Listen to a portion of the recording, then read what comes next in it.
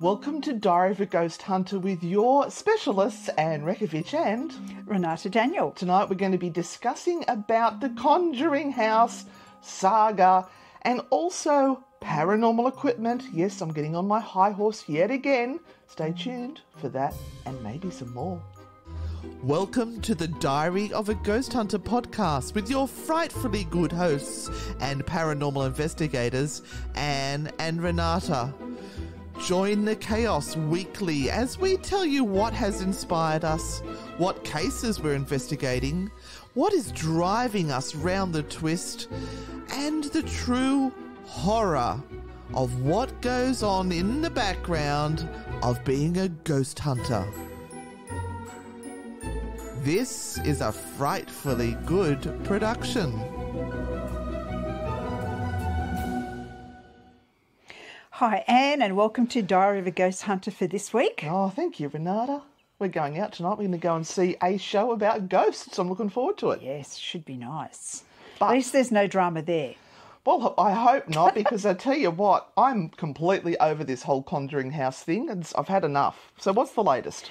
Look, I'm actually going to start uh, just very, very briefly, right at the very beginning of probably one of the first posts that the new owner of the Conjuring House wrote. And if you don't know, there is a new owner of the Conjuring House, and it seems that everyone is up in arms uh, with the fact that this lady is there, and really, they don't want her there. Obviously, And we don't know her. yeah, obviously there are many things that you know people are not happy with, um, from how much it costs to go there to you know what you can do when you are there, to the fact that she's not there when things are going on, so on and so forth. But the very beginning of July, she she wrote this this letter out, um, this email out to everyone, and it starts Happy July. I'm hearing about a lot of hateful rumbling from people who are not in Conjuring House supportive moods by the sound of it. As you may know, TCH is the most famous haunted location in the world. We attract hundreds of people from around the globe per month to Bur Burryville, Burleyville Rhode Island. Sorry, don't know what that is. Who where that is? Sorry, Burl. Burl, Yeah, okay. Yeah. B, B Road, yeah. Yes, to partake in one of our fucking experiences. Oh, she used the F bomb. She did. Oh, it's right there. Okay. I'm told that some members of the paranormal community and government officials keep attacking THC. TCH. The Conjuring House. Sorry. Uh, yes, there are many wonderful paranormal investigators and honest government people who have consistently supported the paranormal field. Many members of the paranormal community have commended the expansion of experiences at TCH to broaden the interest of paranormal activity that demonstrates the con- continuity of consciousness. As to the others, whatever. We really do not care about people who abuse and attack people. We consider them evil and wicked people. In fact, we never want any person with these personality afflictions to visit us at TCH. So if you are among the wicked mood personality challenged, then stay away. We now have the kindest, hardworking people uh, with positive outlooks on our staff. Well, maybe we don't. Um, and it, it sort of goes on and on and on. It's a bit, of, a, a bit of a rant. it is. It is a bit of a rant. It was probably written in quite an inflamed state. well, Uh, they have been under attack from a lot, many, many, many people. Yes. And it's, it's like uh, a frenzy of uh, hate. Like one person will kick it off, and then of course the whole paranormal paranormal community wants to show para unity and attack them as well. Yes, and I cannot confess as being one who has followed this uh, to the letter. So I haven't watched all of the videos as they come out and followed the story, but there are a couple of things that are of concern to people in the paranor- paranormal community. And probably the biggest concern is that uh, the lady that runs the Conjuring House has raised the prices to such, touch, such a height that no one can afford to go Yeah. And that when you do go, you can't. There, there's a whole caveat of things that you have to uh, agree to before you can film and put anything up on YouTube. And if you want to put anything up on YouTube, it is an extra fee. Yes, As well. and it has to be first of all okayed by the owner. Which I mean, I can understand having seen some of the YouTube videos that have been put out there by people. It could destroy people's businesses if they uh, hype it up and do make ridiculous claims about demons. And I mean, there's some obviously houses that that would be beneficial for because they're going to make more money if people think demons are there. But they remember some of our cases in True Hauntings where they've said there was somebody there that was a rapist and um, they they were imprisoning people and it was all stuff that was just made up by uh, somebody who got a psychic impression and I use that term very loosely uh, that that happened there and it wasn't true. But some of the stuff that has been said about the Conjuring House m- m- may also not be quite true, according to history. Yes, that was your outside voice, Renata. Yeah, so it's this, this is a, We a need really to do this one on True Hauntings. I this- think now's the time to do it. This is a really, really difficult thing to be looking at right now. But the first and foremost thing that comes to our minds is that a lot of this stuff has become very, very personal to people. And I don't know why, other than it, they're, they're taking it as personal uh, attacks upon themselves as well. Um, so when it, it it's all about the talk about the house and that the house has to be protected and the house's history has to be protected and all of this. But and the- yet the actual the conflict, the conflict is very personal amongst Yeah. human beings, amongst people who are uh, dealing with all of this. There's been And- vinted egos. and and- it's yeah, it's become very, very personalised attack, which makes it very difficult for people who are wanting to book and are wanting to go.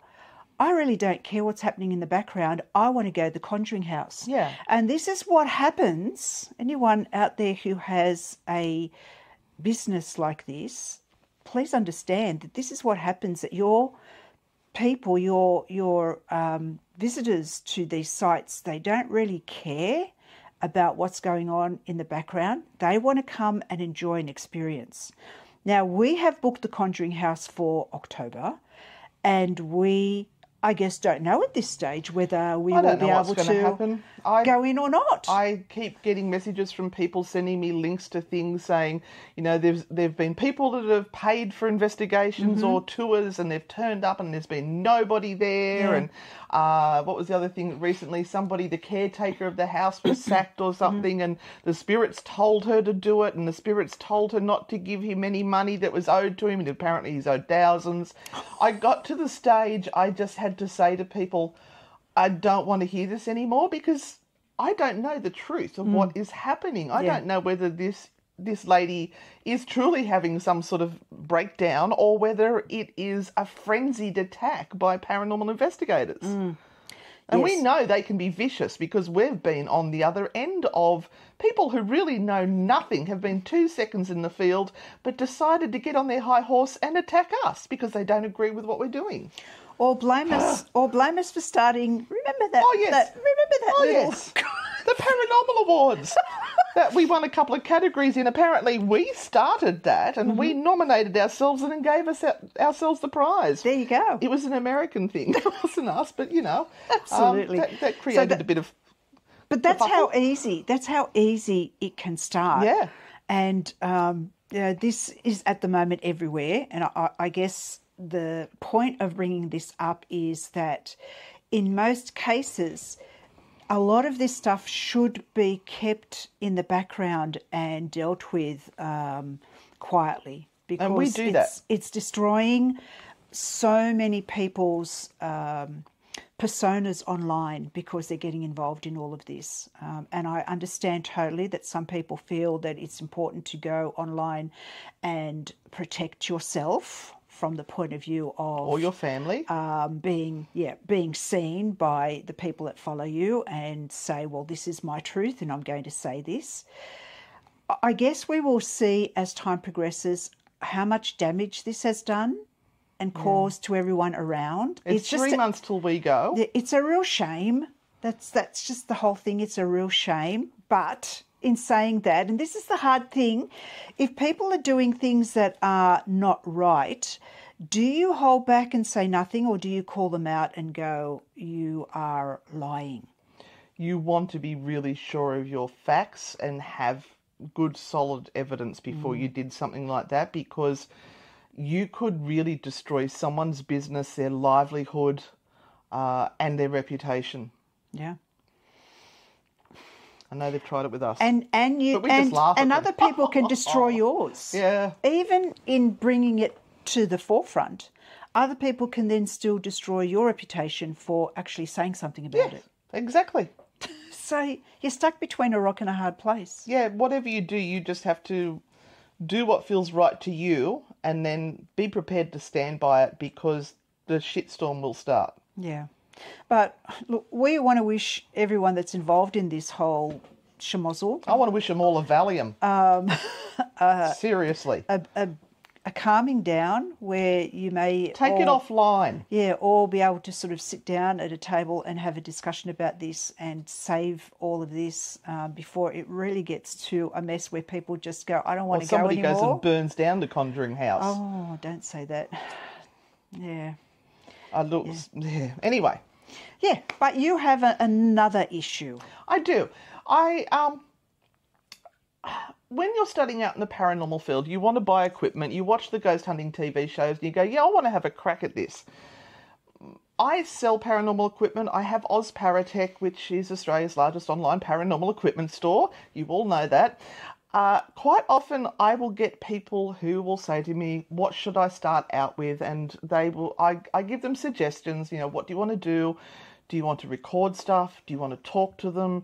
Uh, do you want to check their environmental conditions, or just want to have a good time? So, based on that, I give them the information of what they should start off with. But sometimes we have people, and I have been guilty of this myself, who will see some new gadget on TV and go, That's it, that's what I want. I'm going to get that, and I'm going to be the best ghost hunter on this earth. My suggestion is that you do not start off with the most expensive item on the list. But why? Why? I want that. It looks Because pretty. They have seen on the TV shows how this particular item talks directly to the spirits and they get great responses. Mm-hmm. Now, I'm not going to say who this person is, but I really would want to thank them for the inspiration for this week's Diary of a Ghost Hunter. Uh, they did buy an Ovilus, which is quite expensive. It's a thousand dollars, and they have turned it on and they've sent me a message saying it's just spitting out random words. It's not making any sense. Um, they've tried restarting it. They've gone into a um, a question answer mode, I think it is, and it just keeps randomly lighting lights up, and um, they want to know if it's broken. Is there something wrong with it? And I, I sort of messaged back to them, said, first off, uh, I don't use this particular ovu- Ovilus a lot. I have an older one which I loved. Uh, I asked, have you read your instructions? Have you checked the sensitivity settings on the Ovilus? And you have one of the, the uh, Yep. digital ones. And there are settings that will uh, pick up on the sensitivity of it. And I sort of got the gist that maybe they haven't done a lot of ghost hunting before. And I asked them what other paranormal equipment did they use? And also that, you know, this is an experimental device. There is no guaranteed line to the other side. And that- what? I know, right? What? There is no guaranteed connection. But I've paid a thousand dollars. You want a I line to God. expect to speak. Get my Jesus Ouija board out and talk to him. so I, I, I also asked, did you set your intentions and, and things like that for them to uh, see how they've handled using the Ovilus? And I did get a reply from them saying that no, the only other equipment they've used before this is cat balls. Right. So they've gone from cat balls to the Ovilus. They said they've seen that uh, there's lots of YouTubers that are using. They always seem to get responses to their question. I bet they get Other- better results with the cat balls. Uh, uh, yeah, so they've, they've not looked. I asked them what sort of research they'd done before uh, getting this Yeah. piece of equipment and have they researched how to use it and Yeah, look, it always looks easy when you're looking at the YouTubers and the documentaries, documentaries, and uh, all of the people that go out with this equipment because they seem to get hits every single time. But that's because it's paranormal entertainment. And I did say to them, remember that when you're seeing these YouTube videos or these programs, there is something called editing. where they can cut out the dead, boring bits where it jabbers away and says nothing that makes sense whatsoever. Uh, sometimes some of them may even be a little bit deceptive and cut out an answer from something else and put it in to make it look like the Ovilus has answered. Now, I'm not saying that the Ovilus doesn't work. There's probably not enough uh, data on saying whether that truly works or truly does not work, but it certainly can be very interesting when you get a string of responses that are very relevant, not make it fit, but are very relevant. So I sort of tried to talk them through and I, I asked, what was your purpose for using this equipment? Have you just turned it on and are expecting something to happen? Have you called someone in specifically to talk to you? Uh, uh, is there information about something that you are trying to get? And it's a bit like you don't pick up a telephone and randomly dial numbers and go, okay, talk to me now. I want you to tell me everything I need to know. And the person on the other end goes, uh, no, off. Or just doesn't bother to talk to you and walks away. So you need to have a clear thought process when you go into this. Set your intentions. Know who you want to talk to. Know what it is you want to talk about and ask for them. Think of these people as the, the spirit world as real people who you are asking to have a conversation with. You are asking to learn from them. Don't expect it. Don't demand it.